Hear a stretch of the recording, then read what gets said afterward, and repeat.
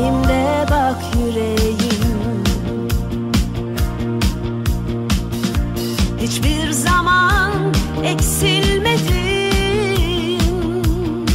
Getirdim aşk için dostlar İyi akşamlar hocam. İyi akşamlar. İyi akşamlar. Öncelikle bizi bilgilendirdiğiniz için teşekkür ediyorum size. Ee, ben de katıldığınız için teşekkür ederim. Çok sağ olun.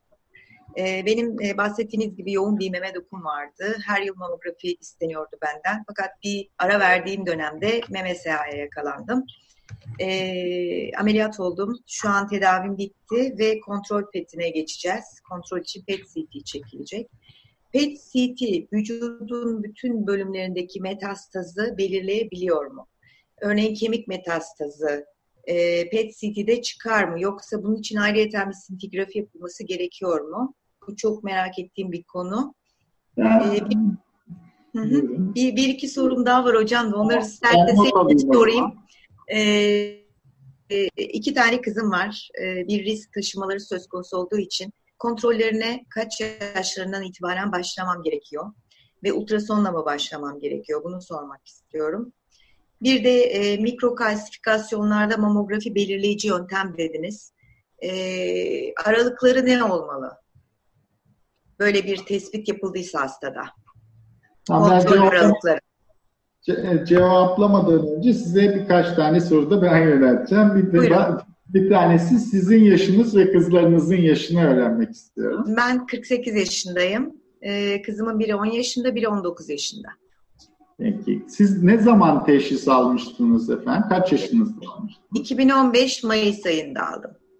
Yani 38 yaşında teşhis edildiniz. Değil mi? Öyle 47 mi? 47 yaşında. 47 yaşında. 48 2015. Ben 2005 anladım. Özür dilerim. Hayır hayır. Tamam. 47 yaşında tespit edildi. Evet. Kızlarda 10 ile 19. Bu mamografinin tekrar edilmesini sizin için mi soruyorsunuz yoksa kızlarınız için mi? Kızlarım için soruyorum. Tamam. Şöyle önce üç tane sorunuz oldu. Bir, evet. Soruya cevap vereyim. PET-CT veya sintigrafi açısından kemik metastazlarının bazıları PET-CT'de aktif olunmayabiliyor. Dolayısıyla bu tür hastalarda ya sintigrafi ya da e, MR'la e, bunların teşhis edilmesi veya takip edilmesi gerekebiliyor. E, ama e, her durumda ikisi yapılacak diye bir e, şey söz konusu değil. Ve bunun taramasının da e, yani özellikle bir şikayetiniz yoksa kemik metastazları ağrılı durumlardır. Dolayısıyla sizin hareketinizde e, veya normal dışı bir ağrınız yoksa bunlar özellikle bakılan kısımlar değiller. Yani sadece PET-CT yeterli olacaktır. Eğer bir şikayetiniz olan bölgeye de ben genellikle MR'ı tercih ediyorum açıkçası.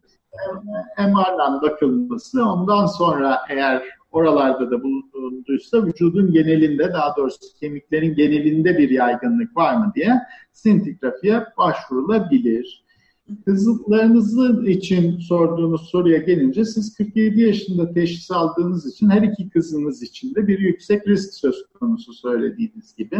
Onların 40 yaş yerine yani hiç ailesinde meme kanseri olmayan ve bir risk taşımayan insanlara göre yaklaşık 3 yıl daha önce başlamaları gerekiyor. Çünkü şöyle ki meme kanseri teşhisi alan hanımlarda biz 10 yıl geriye gidiyoruz birinci derece yakınında olanlarda. Dolayısıyla 19 e, yaşındaki ve 10 e, yaşınızdaki kızlarınızın diğer insanlara göre 37 yaşında kanser, e, mamografi ultrason taramalarına başlaması doğru olacaktır. Bu o yaşlarda yakalanacak anlamına gelmiyor. Bunun bir rasyoneli de var açıkçası. Meme kanseri yavaş ilerleyen bir kanser. Biz onu tespit ettiğimizde yaklaşık 4-5 yıllık hatta 6-7 yıllık bir geçmişi olması bekleniyor. Ne kadar erken bulabilirsek onu, ne kadar e, erkenden teşhis edebilirsek o kadar rahatlıkla üstüne gidebiliyoruz ve o kadar rahat bertaraf edebiliyoruz.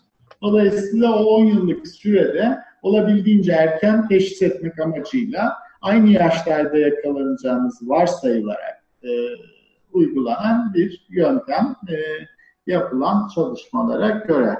E, mamografinin sıklığı açısından ise bir değişim yok. E, bir takım risk modelleme yöntemleri var meme için. E, işte çok farklı yöntemler var. Son dönemlerde bu e, sadece mamografi ultrason değil meme MR'ıyla da e, yıllık meme da takip edilebiliyor. Demin söyledim meme MR'ı e, radyasyon içermiyor. Biraz daha kolay bir yöntem ama değerlendirmesi de biraz daha zor bir yöntem. E, o riskin derecesine göre yani riskin o modellerden bir tanesinde yüzde otuz mesela o yüzde otuzun üstüne çıktığı dönemlerde yıllık meme MR'ının da takibi o hastalara öneriliyor. Dolayısıyla sizi takip eden radyolog veya genel cerrahın o risk analizine göre e, kızlarınız için meme MR'ın eklenip eklenmeyeceğine karar vermesi gerekir diye düşünüyorum. Çok teşekkür ediyorum hocam.